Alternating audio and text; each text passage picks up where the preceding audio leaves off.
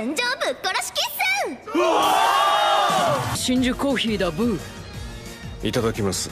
でも蘭子さんには似合うと思いますよ。なかなかお似合いでは？出かけないかと誘われました。ええー、デートは？一時駅前待ち合わせだから。勝手に OK してきたんです。蘭子さんの幸せを応援すべきですよね。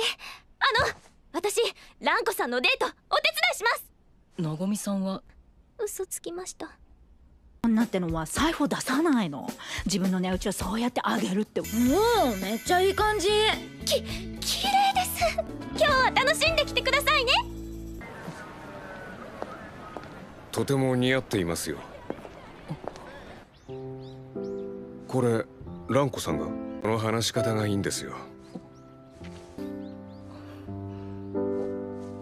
このまま寝てしまいそうです。それがいいんじゃないですか。脇が甘くなりますいた僕に蘭子さんは居場所を与えてくれました。心を締めるようになっていた。